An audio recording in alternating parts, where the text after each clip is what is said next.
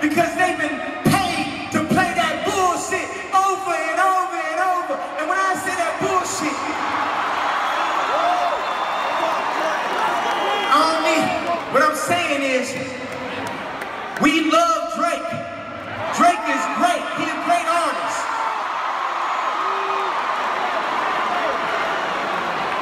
But Frank Ocean is great too.